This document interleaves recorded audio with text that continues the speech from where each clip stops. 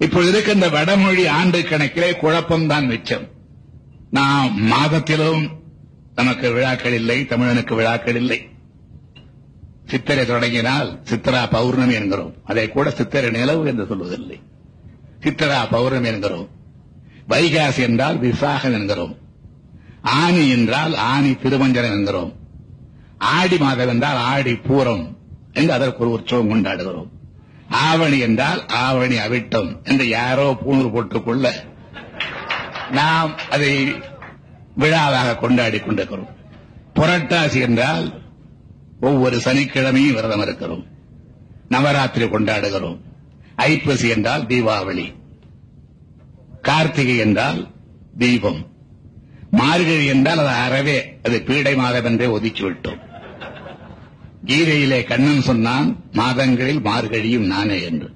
அது பீடை மாதம் என்று சொல்லிவிட்டேன் ஆக கண்ணன் சொன்ன மாதம் மாதங்களிலே பீடை மாதம் தான் அவன் என்று அவனே ஒத்துக்கொண்டதாக. தை அதை கூட பொங்கல் மாதம் என்று சொல்வதில்லை. தை பூசம் என்கிறோம். மாசி மகம் என்கிறோம். பங்குனி உத்தரவு என்கிறோம். இப்படி மாதத்திற்கு ஒரு விழா. தமிழனுக்காக அல்ல நட்சத்திரங்களுக்காக. அதே போலவே ஆண்டு கணக்கு. அறுபது ஆண்டுதான் ஒரு வளையத்திற்குள்ளே இருக்கிறோம். அந்த அறுபது ஆண்டுகள் எப்படி பிறந்தன? ஒரு அசிங்கம் அது. நாரதருக்கு திடீரென்று ஒரு ஆசை ஏற்படுகிறது. கண்ணனிடத்திலே செல்லுகிறார். கண்ணன் என்றால் தமிழ் கடவுள். கிருஷ்ணனிடத்திலே செல்லுகிறார். அவன் தமிழ் கடவுள் அல்ல. எப்படி யாதவா இங்கே வந்தாளோ? அதை போல கிருஷ்ணன் கண்ணனாக வந்து விட்டான். நம்முடைய தமிழ் குடிமகன் ஆயர் எவ்வளவு அழகான தமிழ் சொல். கோனார் ஐயம்பெருமாள் கோனார் எவ்வளவு அழகான தமிழ் சொல். நமக்கு தமிழ் பிடிப்பதில்லை. கோனாரையும் ஆயரையும் விரட்டிவிட்டு யாதவர் என்று வைத்துக் கொண்டோம். தமிழன் யார் என்று கேட்கிறார் தமிழ் குடிமகன் ஆயரையும் கோனாரையும் விரட்டிவிட்டு யாதவரானவர்கள் எல்லாம் தமிழர்களாக இருக்க முடியுமா என்பதை நினைத்தார்.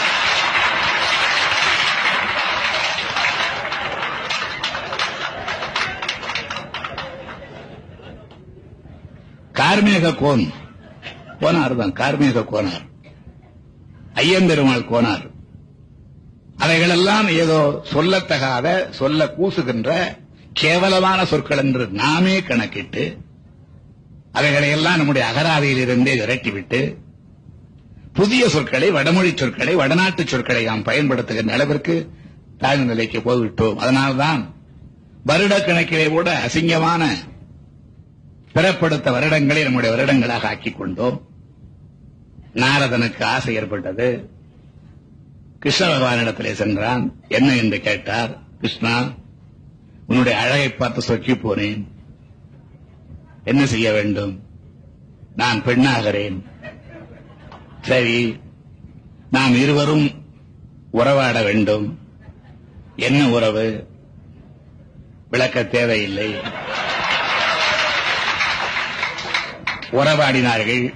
ஒரே இரவில் அறுபது குழந்தைகளை பெற்றார் அந்த அறுபது குழந்தைகளுக்கும் பெயர் தான் பிரபவ யுவ சுக்கர பரமவத பிரஜோற்பத்தி ஆங்கரீச ஸ்ரீமுக பவ யுவ தாது என்று அட்சய வரை ரத்தாட்சி அட்சய என்று முடிகின்ற அறுபது ஆண்டுகள்.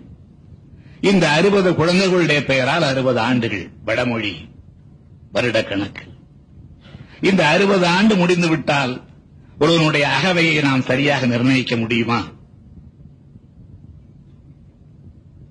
என்னுடைய தந்தையார் அல்லது அந்த காலத்து ஜோதிடர்கள் எழுதிய போல் நான் தட்டாட்சி வருஷத்திலே பிறந்தவன். எனக்கு வயது இப்பொழுது எழுபத்தி ஒன்னு தட்டாட்சிக்கு பிறகு அட்சய. என்னுடைய வயது என்ன என்று கேட்டால் இப்பொழுது